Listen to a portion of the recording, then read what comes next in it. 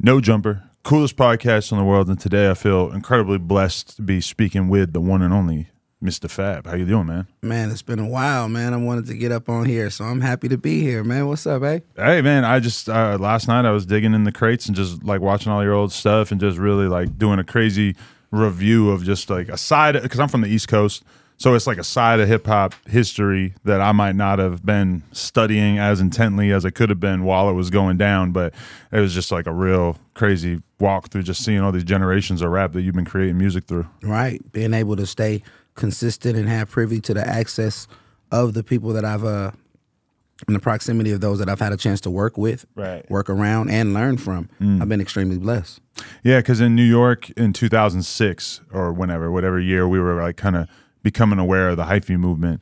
It was just kind of mind blowing to us because New York was such a different vibe. It was like so serious. Everybody Everybody's like a fake thug or a real thug, but like you know, everybody got a white tee and just like on some real cool, laid back.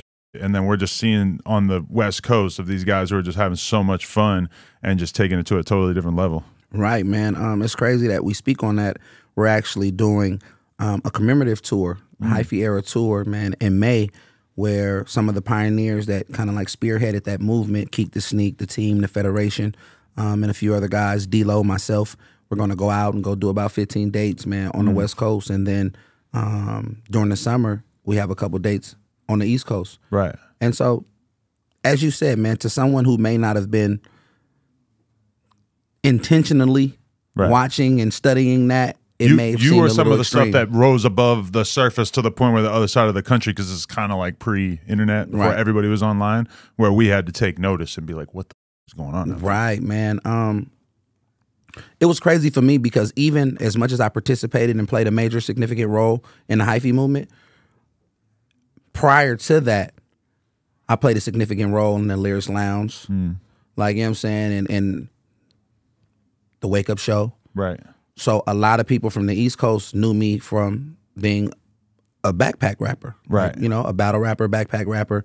So it's kind of like swaying with both best of both worlds, man. So I kind of feel like that's one of the reasons why I came up on a chosen few people radars on the East Coast because they was like, no, no, that's son that, son, no, son can really rap, son. Yeah, you definitely had to name those ringing bells at that time on the East Coast in a way that you know that's kind of the the criticism or like just the the bucket that a lot of like up north rappers over here sort of find themselves in is that they're really popping in their city or their area, but they can't really necessarily like get attention outside of there, right? Right, right. Regionally, Yeah. um, demographically, uh, we definitely had, you know, our, our our our footprints in the sand. But when you begin to expand and expound outside of those markets, you you know, some artists fail to to to have that full exposure. Um, but it's all about networking and learning how to meet and shake the right hands, man, and be able to keep you you know keep some air up under yourself.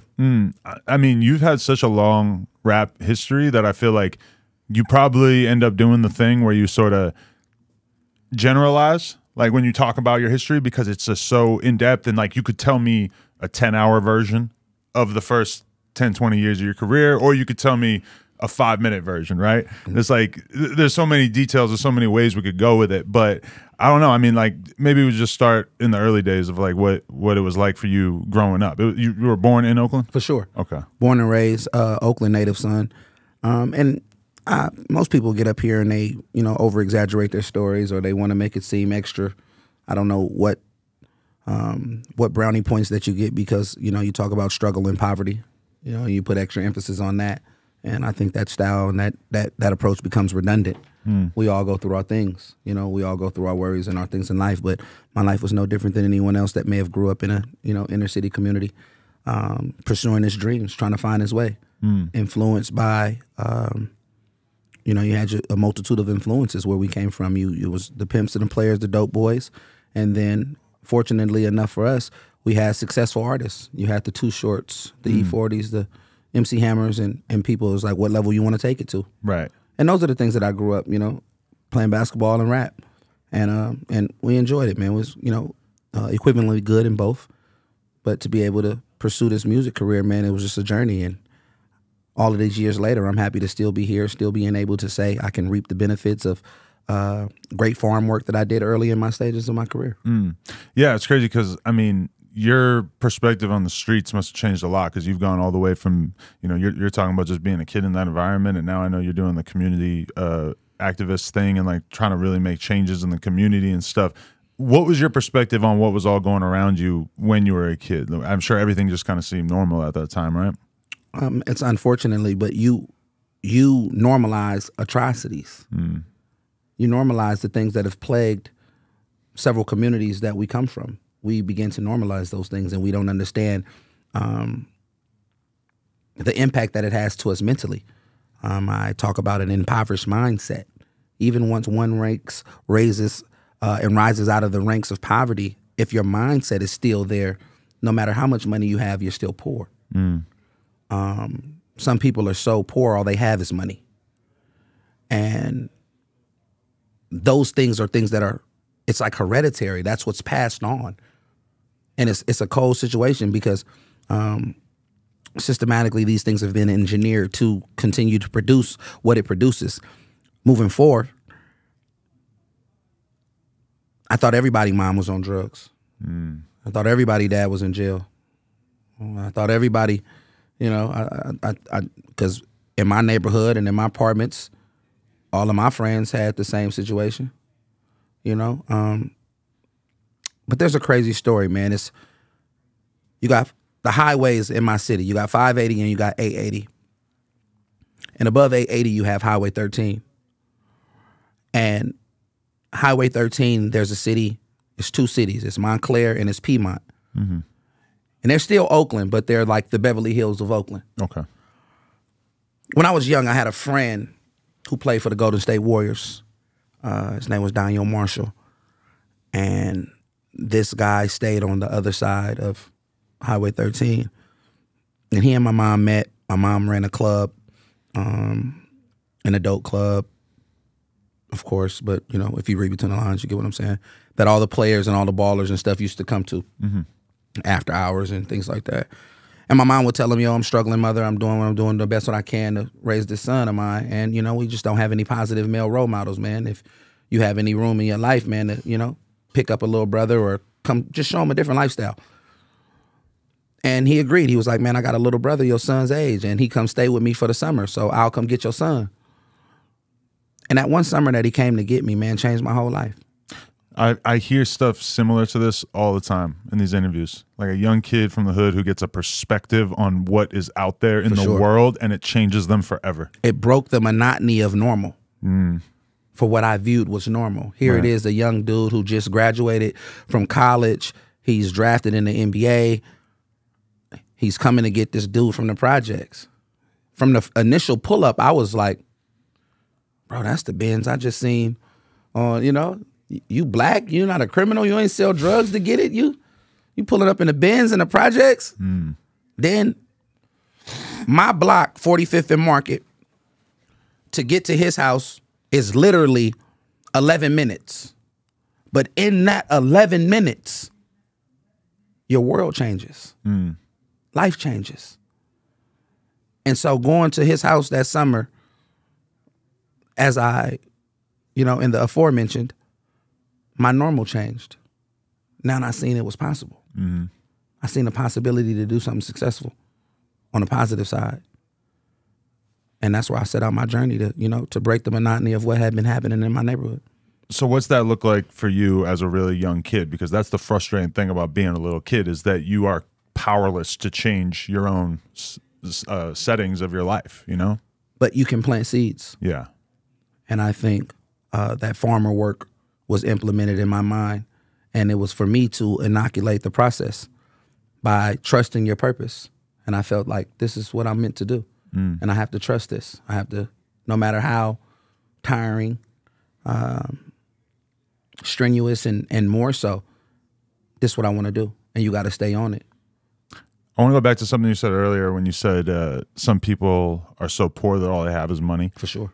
Is that your experience? Because I definitely feel like I see a lot of truth in that, in the sense that when you're broke, you end up forming these communities of people who can help each other because you need all the help that you can get. Whereas once you get rich, I mean, especially in LA is a great example of it. What do you do? You move away, you live behind a gate, you you might know a couple of your neighbors, but you're not really. It's it's not really a community in the sense that when you're broke, I mean, you're pretty tapped into the lives of the people who live all around you because you live in very close quarters. But as you've gotten older and you got money, is that something that you almost need to like fight against? The weird thing about it is when we grow up in those situations, the minute that we get money, we want to overcompensate. Hmm. We spoke on parenting prior to this interview. With my daughter, I overcompensated everything hmm. just because I wanted to prove to myself that she wouldn't have the struggles that I had or that she wouldn't have to go through what I went through. So you have a four year old with a Hermes bag. You're spending $7,500, $8,000 for her to put crayons in it. Oh my god, yeah, But that's the poor mindset that I talked about. Mm. No matter how much money you got, you're still poor because look how you're thinking. And who are you doing this for? And what are you doing it for? So we begin to overcompensate for our lack of previously. And until you're able to break out of that level of thinking, that trained, redundant thought process, then you'll continue to make the same mistakes. Mm.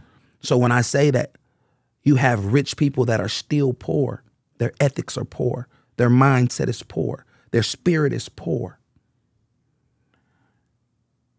And it's all what poverty produces. So in changing that narrative, one must live from for one you have to come from it and you have to understand and recognize what you've done. A process that I like to call you have to reveal to heal. I can't talk about your wrongdoings without admitting mine. Mm. So in that, once I reveal that, then that's when I can start the rehabilitation process. And that's what life is all about. There's a, a rapper from Detroit named Peezy, and he has this one bar where he just says, "Even when I didn't have no money, I was still rich." For sure. It's not exactly the most complicated lyric or anything, but that shit always hits me when I hear it because when I think about my younger days, when I was in my early 20s or whatever, I might not have known it. I might have in my head been struggling and fighting and thinking that if I didn't make something out of myself, then I was going to be a failure. But the emotional connection that I had with the people that I was around at that time and the, how passionate I was about what I was doing with my life, I was rich at that time in a way that sometimes now with fame and you know sort of like isolating myself away from like even going out in public and stuff, it just becomes a lot harder. You ever had someone hate on you and in your mind you like you hating on me for no reason. Like you like, bro, I don't even got nothing and you hating on me. they have an ability to see in you what sometimes we don't see in ourselves. Hmm. My grandmother would always say that. She said, baby, your haters have a vision. She said they have a vision that sometimes you may not be able to see, but sometimes those haters are good because they can tell you things about yourself. There's truth in everything in life. Hmm. You know what I mean? Even even if it's along the lines, the playing fields. Even a lie has some kind of truth in it somewhere, because they had to make it seem like you know to to to believe it themselves. So when you when you look at that, you like sometimes you were rich and you didn't even know it, and you was wondering why they was putting up these blocks because they knew that if you ever recognized it, then you'd be uncontrollable. It'd be tough to hold a person like you. So I've always been rich, like you say. I've always been rich my whole life because I was enriched with love. I was enriched with uh, with morals, Right. And I and I carry those with me today. And it was hard for you to make it up out that situation, but then think about the people who like really genuinely don't know what love is and their parents don't give them anything to really like base a sense of self on. Exactly. I mean, that's man. an even even greater challenge and I give a, a, a big credit to my mother, uh, bless her soul. But this is a woman that, um, through all the tumultuous times, she still dedicated her life to loving me and giving me an opportunity and being an advocate for me breaking the change and and and and you know not repeating the generational curse that has uh, stagnated my family's progression. What was it like watching your your mother struggle with drugs, and how consistent was that throughout your life? Um, in the infancy stages, it was very consistent. Um, I think the breaking point was uh, the recognition of me realizing that she had stole something from me. Um, I was a young guy, probably about eight or nine years old. Um, and I brought it to the forefront, and and she was devastated. Not devastated about the drug use. She was just devastated that her addiction overrode her love for her child. Um, dropped me off at my grandmother's house, and I didn't see her for about six months, six seven months. And when I see her, my mom never used drugs again. You know, I never seen her use drugs again. But that was the the plight to get her life back together. And it was a struggle. It was a struggle. A single mother. My father was um, in and out of the federal penitentiary, and then um, my father died from AIDS. He was uh, addicted to heroin syringe usage. Wow. What year? Um, Ninety four, my dad died. You were born in '82, right? 82. Yeah. Yeah. So, um, so my mom was, you know, my mom was struggling, man. My mom was struggling. Just Tupac has a song, man. I'm looking at this this, this book right here, seeing Tupac. Great book, by the way.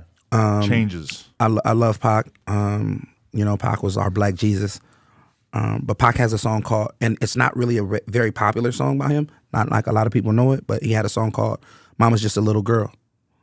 And if I would have to describe my mom, that's who that was. My mom was just a little girl. She was my superwoman. But life be lifing, and you see that kryptonite when it happens. You know, and poverty was our kryptonite, but she still was superwoman to the best of she could, and she did a hell of a job. She did a hell of a job, man. I'm talking about, man. She was working with the scraps that was given. Like you know what I'm saying. Every day she made Thanksgiving. I ain't just talking about like like every day, man. Three, four jobs, man, doing what she did, and um, the blessing that I can live with, man. That you know, she got a chance to see me live uh, some of my dreams. She got a chance to. I was able to do some of the things that I told her that I would do. Um, and for the last few years of her life, while fighting cancer, um, I took care of her. She didn't. She never had to work. She never had to worry about anything. She didn't have to any struggles for anything. And although that was short lived in my mind, um, that's what keeps me going. I mean, that's like the inversion of her taking care of you as a baby, being Sure. able to play that role in your mom's life. That must have been impactful. Once an adult, a baby twice. That's life.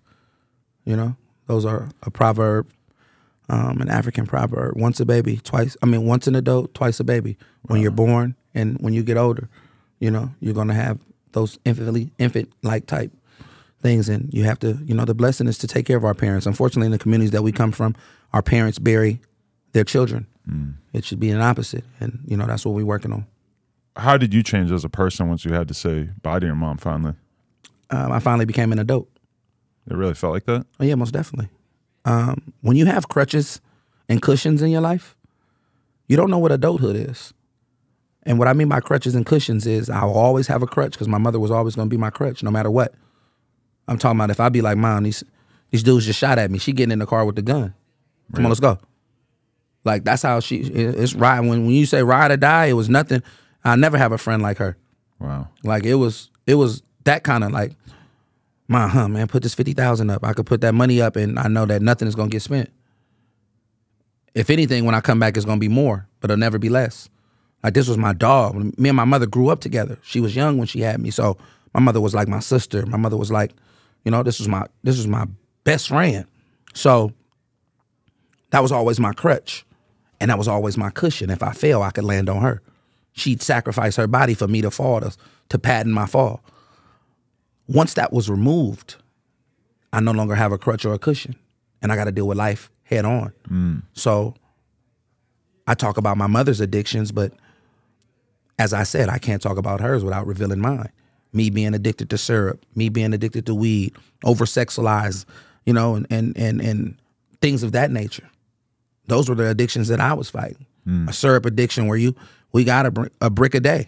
Me and my brother G Field, no cappy, A brick is how many pints? like 16 You- And you were drinking how many? daily. Me and him, easy. That's nothing. That You were drinking eight pints each? easy. What? Easy. This is ask anybody in our hood. We syrup boys, bow boys for real. Like I'm talking about whole hood. And I had the access to it. Right. My mama worked in the hospitals. Now even the rich dudes are pouring up a deuce, and it's like, th- th- Yeah, it gets but- so expensive. Yeah, but it's so expensive now. Back then Yeah. you could get a brick for fifty dollars. right. Like, you know what I'm saying? Like you could get a and this was serious. Like syrup was serious. And but those were the addictions that we were struggling with. We were struggling with those, and we didn't know we was addicted. We didn't look at it as an mm-hmm. addiction. We like, bro, we just sipping syrup. This casually pastimes. What year or when when in, in your life did you start drinking lean like that? Oh four, Okay. Oh four, oh oh five, oh four. And what were the circumstances by which you had to basically quit? Because it always gets bad at some point for everybody. Not necessarily for me. Really? It's recognition. Like I've all I've had a gift of cold turkey. Really? meaning and and it's sometimes it's it's difficult it's a a stern decision making but like i can be like i'm stubborn so i could be like oh i ain't rocking with them no more and i'll never talk to you again like you know what i'm saying in my older age i'm learning to be more forgiving and more mm-hmm. understanding and you know not so naive to my own perception but I'd be like, I don't want to smoke weed no more. And then I'd just stop. I haven't smoked weed in years. But it just came off a day where I was just like, I'm cool. Nothing tragic, nothing low, nothing happened where I was like, oh, I was in a coma and I passed out. Like, you know, nothing like that. I just was like, I'm cool. I don't want to do this no more. That's pretty impressive. Man, man, all glory go to God for my story. Yeah. Definitely. So, okay, when you're talking about planting seeds of your uh, rap career when you didn't really have any kind of resources, what did that look like? Most people just rap for money. Most people are always in search of an opportunity that has uh, a monetary rainbow at the end of it. Me, it was just more so rainy days, cold days, night days, hot days, whatever. It's about pursuing my dream, writing, writing, writing, going after it. Open mics, house parties. I just want to get heard. I just want to be seen. And you knock at a door a long time, somebody gonna eventually open it. And if they don't, you'll sneak through a window. You'll find a way in. And in my mind, knowing that this is what I want to do and not plan B was plan A was gonna work. Aggressively going after it with passion to be determined about this is where I'm going. I'm claiming it. And that's all I did. I claimed it like I'm one of them dudes like I never sold crack. I never did none of that. I wanted to be a rapper. Folks get on here and they get the line about their childhood and all stuff like that. Like, oh yeah, I was I was little Meech in the hood. I was, you know, I was, you know, I was this, I was that. I was yeah, my whole hood know. Niggas know what's up with me. Like, yeah, we know. Nigga used to go to score to the store for niggas. Like we like stop lying. Like you feel, I was a rapper. I was the artist in my hood. Mm. Like I was the dude, like, man, bro. The OGs, I would walk up on the block, they'd be like, spit something, Stan, let me hear you. You were good enough that the community started to recognize you very early. Sure. Mm. For sure. Because we was already popular for being the cool kids. Like I was a you gotta think, bro, at 14, 15 years old, I got NBA players coming to my basketball games. Like I got, you know what I'm saying? You got folks coming to the games. They like now give it the Warriors were trash, so they had time on their hands. Uh but you got like, yo, wait, dude play for the Warriors. Like he just was at UConn. He had the game. I'm getting dropped off at school and Benzes and like different type of stuff. So I was getting a chance to I was a cool kid. Right. I was like I said, my mom my mom did whatever she had to do to make sure she was like, man, if I if it was at one point in my life where I gave a dope man all my money, I'm gonna give my son everything. Mm.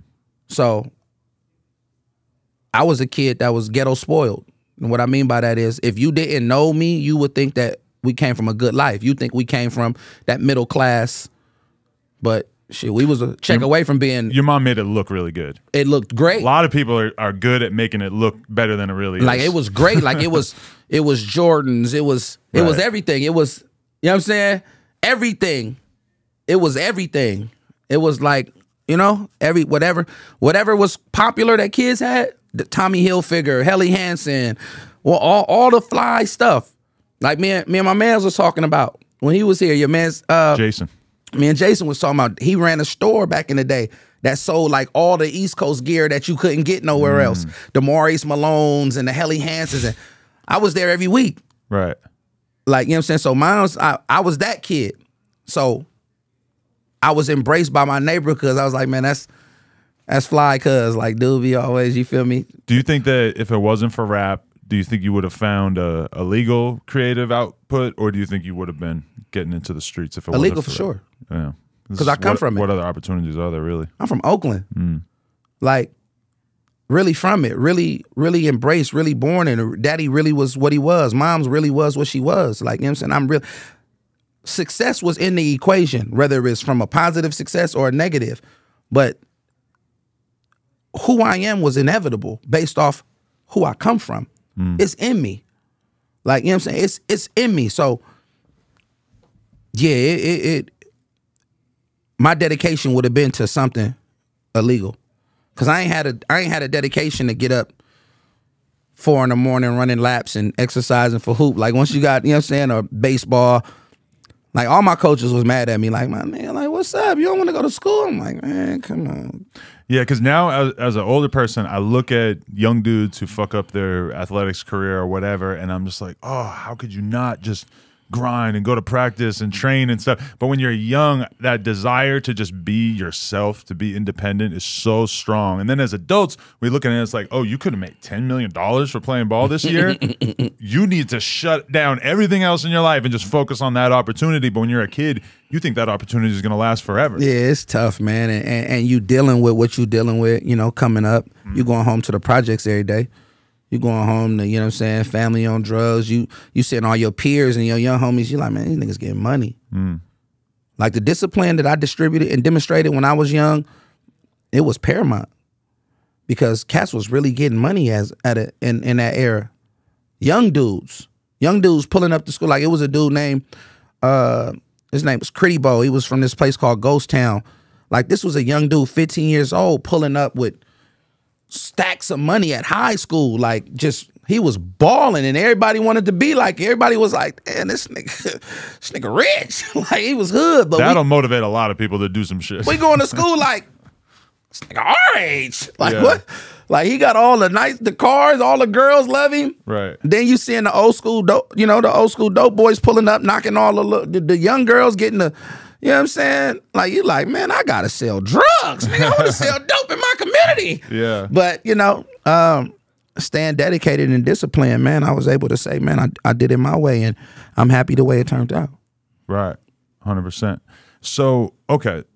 We got to like at least touch on like like were you immediately attracted to the battle rap or, or that side of things versus the like cuz I feel like I came to know of you from the hyphy movement and everything around that time but like how long was this career and what was that like before that? Before then, it was like, you know, the source would have the source battles where they would go to different cities and they would hold hold like source battles. And if you won the battle, you get an article in the source magazine and stuff like that. Now, I didn't win. uh, when I went, I was like 17. They did a battle. But they liked me so much, they still put me in the source. Like as a and it was battle rap. Um, who won? I think I think just because won T Pup and Locksmith, like me and Lock come in the game together. Lock was Locksmith is like a, a world renowned battle rapper. He's one of the greatest lyricists ever and he's like, I, I can't be that good. Like he's that dope. Like you know what I'm saying? Um but I got in it from battling, and like I would always battle at like the house parties. It would be like I was the rapper from my hood, from from North Oakland, and we would go other spots, and we would just it'll be rapping, freestyling, and that competition was always something that I was always, you know, I was enthused to do, and I loved it. I loved the competitive art of that of battle rap. Got into it, doing all that before the hyphy movement. We were doing battles everywhere. But you were already looking beyond it as well where you wanted to be like a real rapper. I, I just love the art, bro. Hmm. Like even today, bro, even at at 40 years old, bro, like my, my, my life is not it's not it's like I drop an album every week. When I was listening to your most recent project, I was like this is not a dude who's just in cruise control. Right. I'm You're like doing your thing. I drop an album every week. Like every other week I'm dropping an album cuz I love it. It's not like, "Oh yeah, we're streaming hundreds of thousands of streams and I probably spend more money making music than I do money making money off music. Hmm. But I love it. I love the art. I love being able to go in the studio, go create. I'm, you know, I, I love writing records for people. I love writing a record, like calling somebody, like, "Yo, listen to this, huh? Go record it." Hmm. Like I love doing stuff. Like I love this art. I really love making music, bro. Like so to me, it ain't about the money and when I made some great business decisions. You know what I'm saying? I I I, I did some I did some good things, man. So financially, So you made a bunch of good decisions outside of rap. Yeah, like Really? I, I own a nightclub, I own a museum, I own a clothing store, I own nail shops. Like you know what I'm saying? Like what, what is in the museum? it's uh so there was a spot that existed before called the 90s experience. And the 90s experience was a place that it was like all exhibits that would it would just rekindle the 90s. It would have like a Simpsons exhibit. It would have the Fresh Prince of Bel Air. It would have it's just a whole little like a selfie museum where the people go would go in there and take pictures and Got just it. relive those moments. So I bought that spot and I turned it into the Dope Era Museum. So I kind of like redesigned, remodeled things with things that were more so closer to our culture.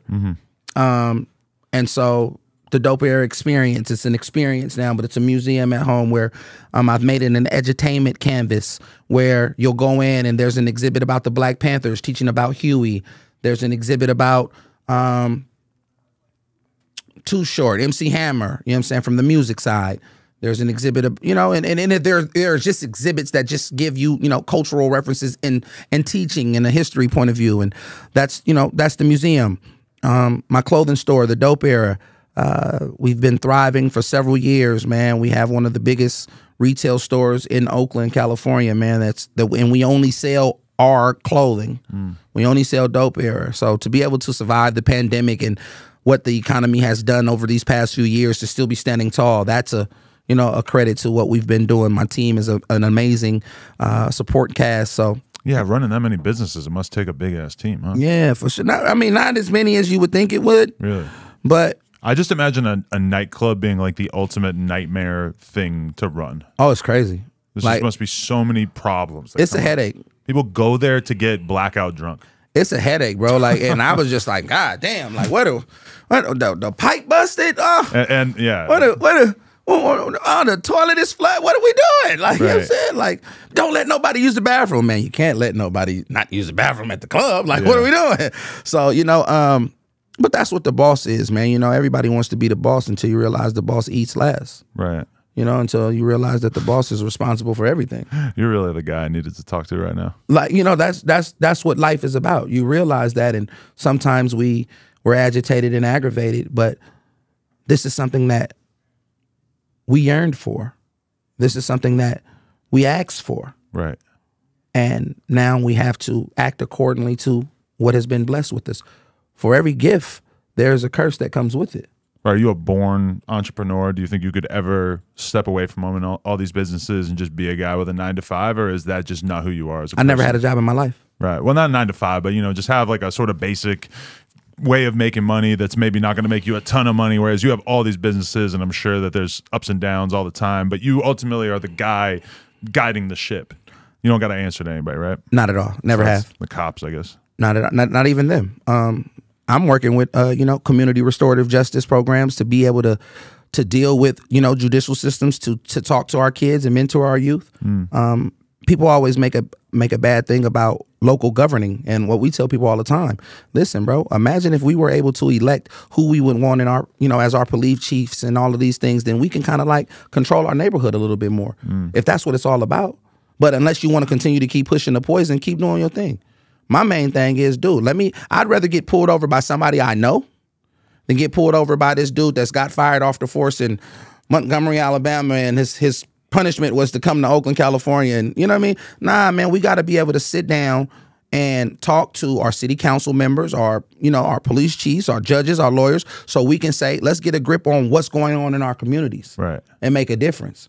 Like you know what I'm saying? Let, let's make let's make a difference. I saw an interview clip where you were having to like defend taking a photo with the police chief, and I'm like, this dude is so obviously at a very different point in your life and career where a cop doesn't seem like a, a threat. If anything, he's somebody you want to work with to make the city better, right? I don't do any crime and no crime. Like you know what I'm saying? I'm not a criminal. Hmm. I don't do crime. I'm a businessman. I own several businesses. I'm a community activist. I'm a philanthropist. And my community, my sole purpose at this age of my life is what can I do to better my community? What can I do to let these children see that they don't just have to succumb to the poisons that have been available to us for generations? Mm. I'm going to encourage that young dude, young dude, go be a lawyer, go be a doctor, go be a police officer. Like, oh, you telling nigga to be the ops? Be the ops. What's the ops? Another black person killing a black person? What's the ops? We selling more drugs and destroying our own communities? Or this young dude rising above the ranks going to get a job that pay $200,000, $300,000 a year. And he's able to protect his community. He's able to say, man, we're not pulling him over. We're not arresting him. I know him. That's my friend daughter. We're not going to go after. We're going to protect our community because we come from this community. We got victims victimizing victims. Hmm. So, how do you stop the violence? You and I know. I know this conversation is like not going to be long enough for us to really get into that, but like, obviously, you this weighs on you because I've seen clips of you on the news and talking about how you need to reduce the murder rate in Oakland and everything. But like, how do you even begin to address that? You'll never stop the violence. Right. violence is a part of life. With life, there's death. With you know, with good, there's bad. There'll always be violence. There'll always be negativity. There'll always. But how can we tip the scale to where we're doing more good than bad? That's when opportunities have to be created. That's when we have to enrich those that are still being impoverished mentally when we have to change the narratives, when the cool stops going from, oh, my cousin is cool because he's been in jail 10 years. Mm. Oh, free my brother. Like, free your brother, but your brother did three murders. Like, this what we yelling free about? This what we on? But then a person like me, oh, you looked at, oh, you a square ass nigga, man. You ain't representing for the hood. You ain't. Why, bro? Because I'm trying to change the narrative of what we got going on in our communities, bro. How long we gonna keep pushing the poison, bro? Hmm. Every, it- it- it's it's all good till it come to your doorstep. It's all good till your mama get killed. It's all good until your daughter start hoeing for this young dude. Like you found all of the things that plagued our community and poisons is everything that we all promote. We all get up here and we promote it and we promote it so much that it becomes interesting. Now we get folks from somewhere that's never been, they've never been involved in nothing in the streets. Now they're dying to get a part of that. Me and every rap fan I know know way too much about Chicago gang politics. From and even if we didn't watch the YouTube videos, we would already know a shitload about it from the music. Like, bro, we listen to it. It'd be like, bro, the internet has made the world one city. So now you got people who have never visited places using that city's lingo, that city's lingo. They're using that city's culture. They're dressed out. They're like the whole world calls ops. Like, bro, that's Chicago. Like, what are you talking about? We all influence. Oakland has never had Bloods and Crips. But if a person tell you that there's no gangs in Oakland, they lying. Gang culture has infiltrated Oakland and it, it is insane. So these are the things that we got to say, man. We have to create opportunity. And when I say we, I mean the influencers. I mean the people that these kids look up to. I mean the people that are going to go put themselves in position that the, the wealthy, the successful, the the voices. Um and we have to go out and speak. Not I'm saying we I'm not talking bad about mis uh misguided youth. I'm saying how can we guide them? I'm not talking bad about those that have made mistakes. I'm saying, how can those mistakes be forgiven? And once forgiven, giving them a second chance. Hmm. Everybody that's locked up in jail is not a criminal or not a bad person. They may have just made a mistake. They may have just made a bad decision. You have a lot of good people that have made bad decisions. That doesn't make them a bad person. Just like on the flip side of the narrative, there are a lot of people that made good decisions. And they may be rotten scum of the earth type individuals, but just had great decision making. People tend to underestimate the importance of luck. For sure. How many times in your life, not to put any kind of judgment on you, but how many times have you driven under the influence where you didn't get caught? I got a crazy For story. me, it's a shitload, and that that has very much determined the fate of my life. Right? Bro. Like if I had got caught once or twice, I could have dealt with shit that probably could have ruined my whole life. Remember um Chopper from making the band? Remember City Chopper? Yes. me and Chopper, Chopper came to the Bay to come stay in the Bay for a long time, and it was like my little bro. It's our birth. His birthday is January twenty second. Mine is January twenty third. He's riding with me. We, I'm talking about blitzed, loaded, Drunk. drunk, Got it. loaded. We're driving through what would be Brentwood out here, The nicest part of town. where the police don't play when DWB driving while black. Hmm. We're driving through Alameda. Got it. Bro, we get pulled over. I got the hammer right on like the side of of, of my it's the, I got hammer on me, right? The police officer says, "Get out the car." Whoa, whoa, whoa. Now, mind you, we young. I'm young, dude. I get up, bro, and the hammer falls. I'm talking about if the it falls right between the thing and doesn't make a sound, but if he opens the door, it falls out. It falls out. I'm either shot or I'm I'm you feel me? it's pistol case. Right. So when you say luck, man, till this day, that may have been one of the luckiest moments of my life that that gun didn't fall on that street when that police officer opened that door. Wow. And I was loaded as hell. But when I gave my ID, he like, oh, it's your birthday. I'm like, bro, I stay right there, bro. I I drunk tonight. I did. I'm not gonna lie to you, but I stay right there. And it just so happened that he knew who I was, man. He was just like, man, drive safe, man. Be careful. And that shit was the luckiest day of my life.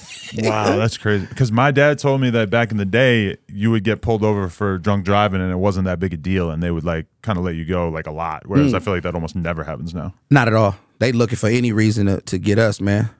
For sure. Any drugs in the car? License probation. They ask you all kind of shit, man. License pro anybody on probation? Like, man, what? Watch out, man. But so at this point, you feel like you've turned that corner, and and you're generally just accepted as an entrepreneur and everything in your community. And do you feel like you're the police fully like recognize your contribution? I think some of them do. Um, our work in the community. Um, and I, I tell people this: I don't have a stain with selling out my community. I've sat down in city council meetings, and I've always been on the side of the people. Right.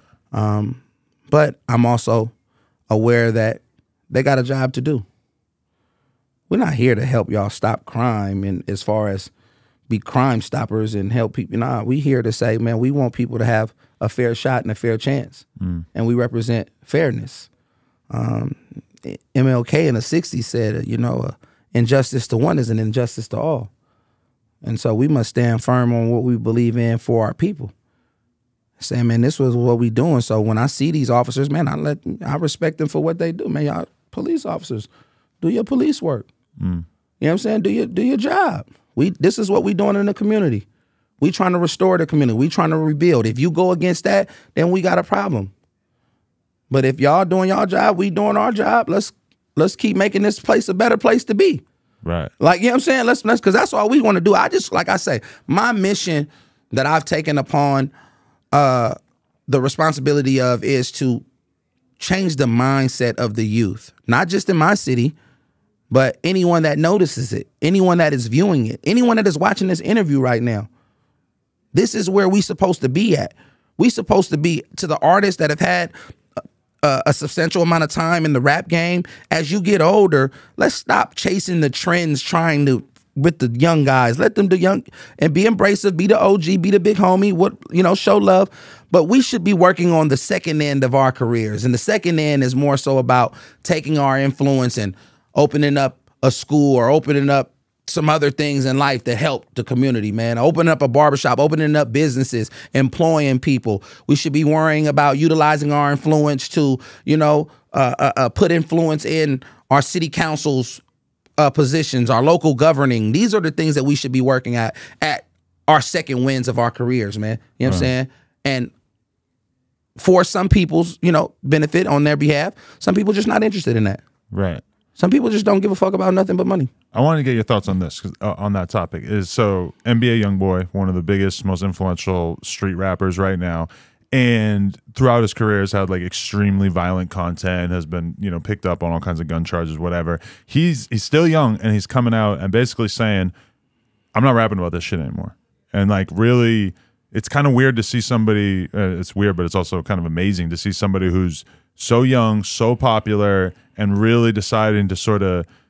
It seems like he's really dealing with the ramifications of how how violent his music has been, and he seems like he really wants to make a change. Now I'm open to the possibility that this, you know, a lot of rappers claim they're going to make a change in their lyrical content and then it doesn't really stick. But that has been pretty amazing to see, especially with somebody like him where his ops are other famous rappers. And he could have the biggest records of his career if he were to make bloodthirsty records going in on them. And it would appear that he's actually like got to the point, even being young, where he realizes that this is not the contribution that he wants to have to society. What do you think of that? I think things begin to weigh on your soul. Mm. You begin to. I can't speak on NBA YoungBoy. I've never met him, um, but I commend him. I commend him for even announcing the fact that there is needed uh, change. I talk about it in my music when I said I had a child and everything is fine and dandy until your children begin to ask you about your content. And you realize that they're listening, and you begin to think about all the other children that are listening and how you can wrongfully steer someone down a road that even you yourself may not be going, or you yourself have come from, and you have no plans to return. I would I was shocked when my daughter asked me, Daddy, What's a Pimp? My first album was called Son of a Pimp. And I put a picture of my father on the cover. And when your daughter gets old enough to read and she says, What's a pimp? And you have to explain to a five year old or a six year old what a pimp is. How do you even begin to approach that? And then the attachment is I'm describing who your grandfather was. And do you go? Do you put a friendly face on it? Do you make it sound like it's all good, or do you hit her with some hard reality? You be honest. Mm. But to a five year old, they're not ready for full honesty, when you, right? When you get older, you, she gets older, and then you take her down the street and you let her see what it is. Mm. You know, you see this is this is what it is. Um, and that's when it clicks in your mind. I got to be more conscious about what I'm doing every time I hear a, a, rap song around my kid where they say something about you know bitches and women, how there's there's a defining line. Some women des- are deserving of respect and some aren't. And I just think of like, how on earth could I possibly explain that to her? Right, and you know, parenting does that. You know, um, as I said, I commend NBA YoungBoy, and I commend any other artists. Uh, but one thing that I want to tell the fans, we have to allow the space for these young men and these young women to change, to grow. Hip hop wants to keep you in an age group and they want to keep you into a a to-do list. And when you have done that, they add you on the not to-do list. Oh, you can't grow. Oh, you can't get into politics. Oh, you can't talk about change. Oh, you can't spread love. Oh, oh no, you're not cool now. Nah, we have to give room and space to allow artists to do so. Because, hey, man, if Malcolm would have died at a certain age, we'd only know him for Detroit Red. We only know him for fast talking con artist. If Maya Angelou would have died, we wouldn't have known her as Dr. Maya Angelou. She would have been known as a dancer and whatever else she was doing to survive to get by in her life. Who are we to control when someone changes and when someone evolves? Minister Farrakhan says, who are you to condemn someone that may eventually grow and be a better person than you? But you can't stop them in their growth and stop them in their tracks due to your judgment. And that's what we have to learn to stop doing, man. And, and from media to artists and fans and all of that stuff, and give somebody room to grow, man, instead of just giving them room to hang themselves. Mm. People would rather give you a rope to hang yourself than a rope to pull yourself out of what you've gotten yourself into it's a problem of incentives too because you you talk to like any young rapper who sort of like comes up talking shit dissing people talking about violence having guns in the video whatever they get a fan base in some ways based on that and then inevitably well not inevitably but a lot of them get to the point in their career where they want to pivot out of that and they want to make fun music or they want to make heartfelt music and a lot of times the the dudes who are really truly talented and really truly have a connection with their audience a lot of times can do this pivot. A lot of guys aren't necessarily talented and then you end up looking at their stuff and being like, "This is kind of sad." Because I see the way you're just sort of filling in the boxes because you're so incentivized to make songs where you talk shit about dead people or, or whatever it may be. I grew up in a dope era. We living in an op era now. Mm. This is the op era. You're not cool if you don't have ops. You're not cool if you're not beefing with somebody. You're not cool if somebody don't want to kill you. You're not cool if you, you know what I'm saying, I- i- if if your music ain't about murder, murder, drive-bys, getting high. It's like this is the op era. And it's it's cold, man, because what happens when that when that dude wants to go outside or take his take his daughter to the amusement park, ride through his neighborhood? The beauty with me, man, bro, that I'm so thankful for in life is I could go to the high school basketball game with me and my daughter and not worry about if somebody gonna do something to me hmm. because I know I ain't wrong nobody. I know I ain't hurt nobody. I, I haven't I haven't even third partied hurt nobody. And what that mean is done gave something to somebody to do something. I ain't put no drop no bags on nobody's heads. I ain't did none of that. I ain't you feel me? I ain't I ain't wrong nobody. I ain't lied on nobody. I ain't told on nobody. I ain't did none of that. You know what I mean? So I'm able to go to the grocery store. I'm able to be at my clothing store every day. I'm able to be at my nightclub. I'm able to go live where I'm at and not worry if somebody looking at me to, to catch me slipping. Hmm.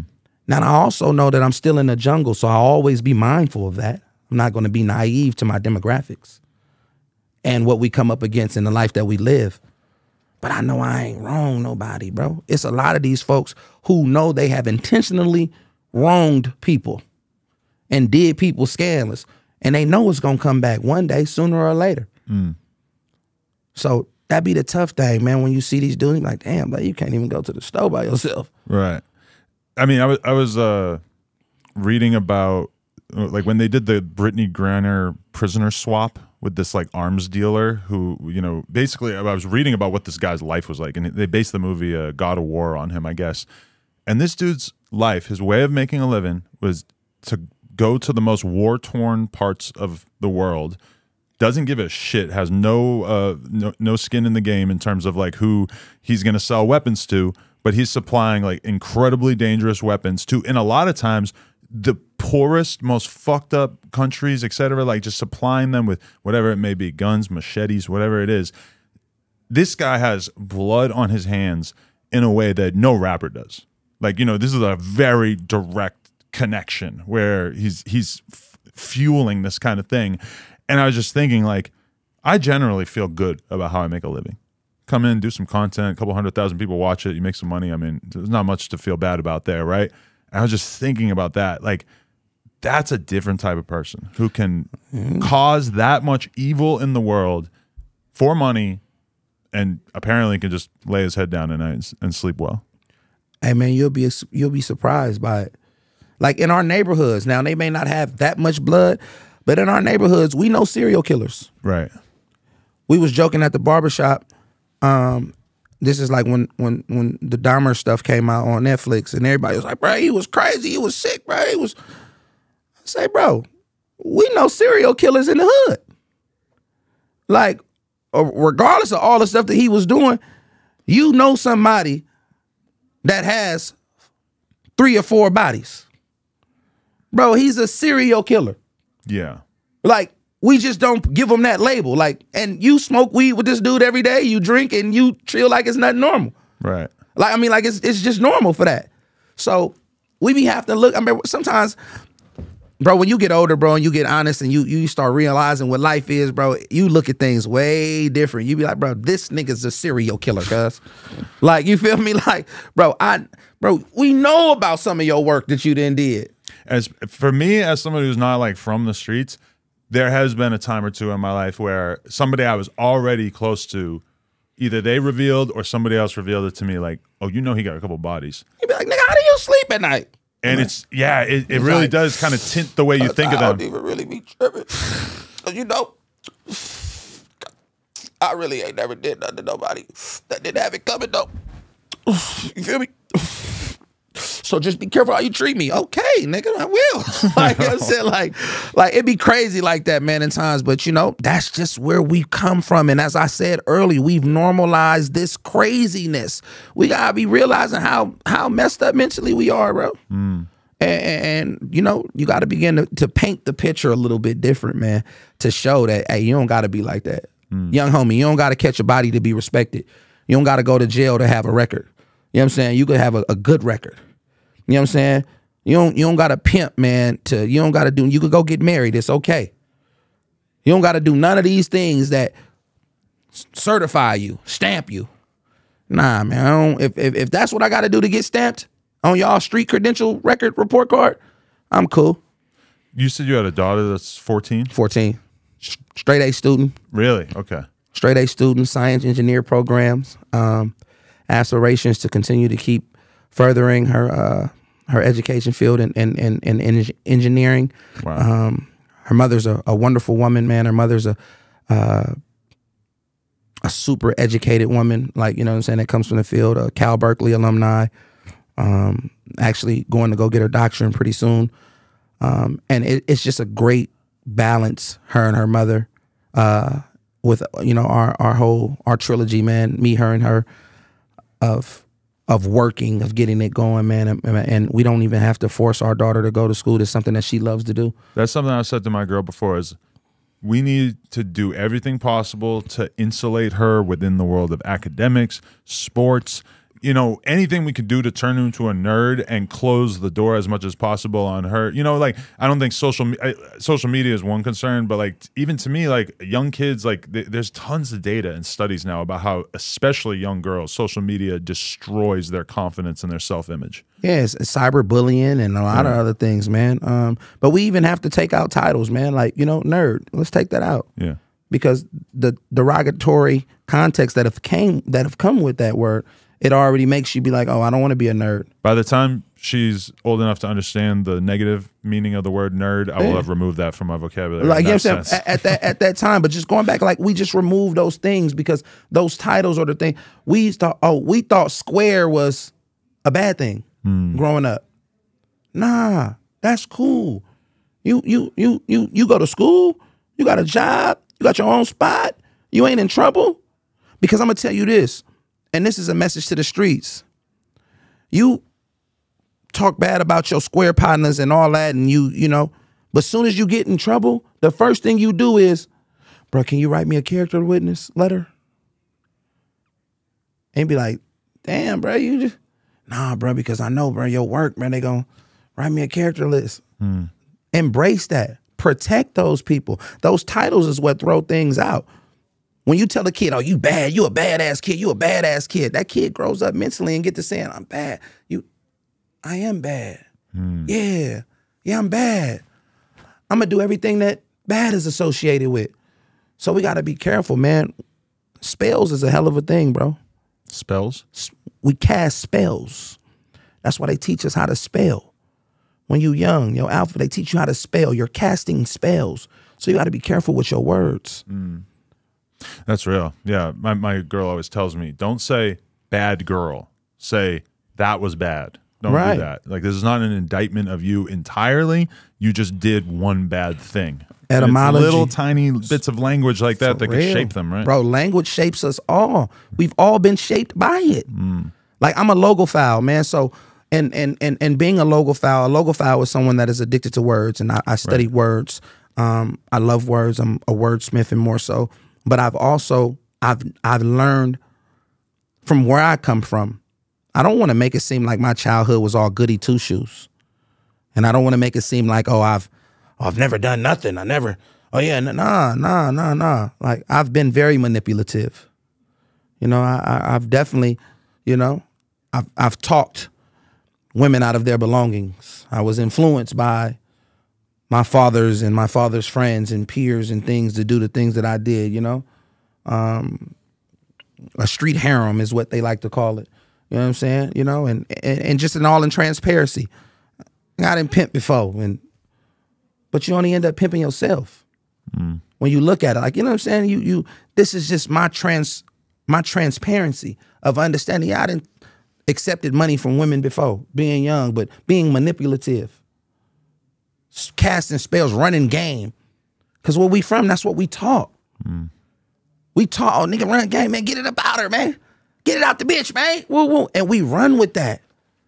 We run with that until you just be like, damn, but I really just messed this whole woman life up and had no real true intentions for her. And by the time you get old enough to have a different perspective, it's almost like they don't want to hear it, right? They don't care. They like, ah, nigga, how you gonna tell us something? You who better to tell you? Who better to let you know how much I understand than somebody that didn't went through it? Who better to show you a different example, a different way of living than somebody that lived what you went through? That's why it's imperative that people that come from our ranks, we begin to utilize our influence to create change, to be those examples, because we got to experience and and, and I keep cross referencing some of the elders, but the reason why Martin, I mean Malcolm X was so effective is because the dudes that he was targeting, they knew that that was the life that he had lived. Mm. Like, oh shit, if he could change, I could change. We see that. We look at Jay Z like, damn, this nigga sold crack. Right. Now you you dictating who who going Super Bowl and woo woo. Like, damn, it was influencing. We look at 50 Cent like, damn, this nigga 50 that really got TV shows and woo, it's possible. This is the same nigga that just got shot right before our eyes not long ago. We love that that story. Those story, everything has. We love the story. They love to hear the story about the nigga that comes from nothing that makes it. But what about those that don't make it? They still got a story too, Right. and you can learn from that as well. And as you get older, assuming your kids have more opportunities than you have, you have to learn to empathize with them. How am I going to look down on the other kids that she's around or whatever just because they have well, she has this cushy existence. She's not going to ever understand a lot of the stuff that I had to go through or For sure. yeah. My daughter told me some real shit the other day, and and we sat in the car crying. Like you know what I'm saying. I'm sitting up crying because what she telling me. Like she's like, look, Dad, I love everything that you've built for yourself, but that's yours. She said, even when you die and you leave it to me, and you leave it to my brother, that's cool. That's still yours. I still want to go work for my own. And bro, that was that was so dope to me because you know how many people just they rely on nepotism to keep them afloat. Hmm. So for her not to be just anticipating that, for her saying I'm gonna make my own way, I don't want to just be Mistah F.A.B daughter. I'm building my own name. I'm building my own name. I I was humbled, man, and Just because so many kids also would probably just want to coast by as much as possible, you know? She like, she like, Dad, this your Lamborghini. This your woo woo. I, I'm gonna get my own stuff. And I loved it because I'm going to be supportive in anything that she does. Like no matter, babe, you. She's like, I want to go get a summer job. I'm like, a summer job. I felt like uh King Jaffe Joffer on Coming to America. My daughter doesn't work. like you know, said, my daughter doesn't work. And then I thought about it. I said, baby, I'm gonna support you. I'm gonna pick you up and drop you off. Right. Like, you know what I'm saying? And But you you didn't have to try to get her to get a job. She, not at all. This own- is what she want. Like she want for her own self, her independence. And I love it. And as I said something yesterday in an interview, parents, don't just be a dad. Don't just be a mom. Don't just rule like that. Don't just cause I said so. Mm. Don't be a listener. Be a teacher. Be a student. Be a father. Still be understanding Don't teach them what to think, teach them how, how, to think. And that's when you become a problem. Mm. You become a problem when you teach someone how to think because now you're creating solutions. You're creating solutions. They loved Martin Luther King when he was fighting for civil rights. Mm. When he started fighting for human rights, they got him up out of here. There's so many things I think about that with my kid. Like one day she's going to ask me about abortion, and I, I I'm not going to be able to tell her what to think. Right. but I can tell you about both sides. Right. I can tell you where I'm at. But ultimately, like this is a, a choice that is a gigantic, you know, rift in our society. And I I mean it'd be a tough thing to explain to your kid at some point that, yeah, like this this is something that a lot of people feel like they have to do and Your body, your choice, though, you know? that's And- how I feel as well, yeah. And that's when I talk about when I took my daughter to ride down the stroll where young girls are being solicited and things. I wanted her to see it. This is this is what's going on. They asked me to speak at Juvenile Hall a couple months ago in the unit that I uh, was requested to speak to. I do you know a lot of motivational speaking and things like that. I go to colleges and stuff. Um, and this day I was I was asked to speak at Juvenile Hall, and they gave me the young girls unit, and it was thirteen year olds, fourteen year old girls in there, and I was like, no, nah, I can't do this. They was like, what you mean? I was like, bro, y'all got these kids in here locked up like they suspects, like they guilty of crime. These girls are victims. These are victims. Y'all locking these kids up that are 12 and 13 years old for prostitution and being and soliciting. It's evident that these girls are being victimized and y'all are adding to that. I don't agree with that. So what I come in here and say, y'all might not agree with me. Cause I'm gonna be for these kids to get out of this situation. I don't feel like no little girl should be locked up at 13 years old for prostitution and soliciting. This is a system that is engineering them to think that it is okay to do this. All you're gonna do is get caught, you're gonna get out, you're gonna get on your record, and now you can have something to brag about. Where is the rehabilitative state in helping these young girls get out of these situations? You didn't get the vibe that they give a fuck about that, or that there's room for them Hell to be no, thinking they didn't. But I, they got my vibe, and I, I'm out of here. Mm. Y'all can have your money. I don't want it. I'm I'm cool on this because I don't agree with this. I don't agree with these children that are are are this is what poverty produces. I don't agree with this. And y'all not making it no better. These situations are supposed to help these children. We supposed to have reentry programs. We supposed to have rehabilitation programs to help these kids and these children that need help. Y'all not doing nothing but harshening their conditions. I don't agree with this. Crazy. So, you know, that be the thing what it is. Like, you know, and like even for, like with my son and his mother, it's it's more so about I'm just giving him an opportunity, like when we grow for you to just, man, son, whatever you want to do, go do it. And I'm gonna be supportive. And his mother's gonna be supportive. Another educational one, you know what I'm saying, bachelor's degree and and things of that nature, man. It's just teaching our children to accept life and go after their dreams, bro. And unfortunately, people don't be, a lot of parents aren't that supportive to their children.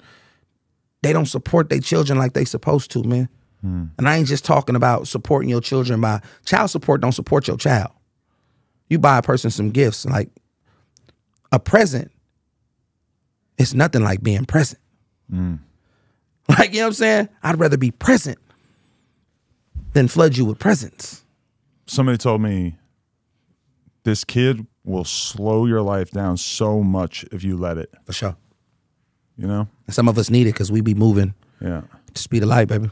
And that's that's the challenge constantly. For sure. Is to stay present in that moment. And and it's a pretty good metaphor for life in general too, because I mean, you could spend your whole life focused on hustling, Hmm. but you know, th- there's more to life. That's real. Man, all right. I, I got another interview coming up soon, but I'm like super fucking thankful that we got to have this conversation. I've been looking up to you for years, and I just, I really think you're probably like one of the best minds in this hip hop space, and it's mm. it's really been pretty incredible. Watching old interviews last night and getting to see how much you've changed, and yeah, it's it's incredible. It was an honor. I appreciate you. Like I say, man, we we we may not do the interview that do millions of views, but because I don't I don't hit people with shock view. I don't do the headlines. I don't do the clout chasing. Like you mm. know what I'm saying. You won't catch me up here disrespecting no other artists. I I don't do none of that. I ain't on that. But when we talk about something that's going to hold the test of time, and years later they could look at it and this is one of them. And that's what I want to do. I want to put that content in the world where at this moment it may not go viral, but it'll stay around. And it's something that's going to be informative uh, and hopefully the narrative that many people will follow and the blueprint for us to continue to keep changing and evolving and letting people know that hip hop has growth and there is growth in it and, and this is what it looks like. And like I say, I'm in the process of healing. I haven't said that I've healed. Right. I'm healing. So it's always a growing thing for me, you know? And I always try to continue to keep evolving and, and getting better and learning.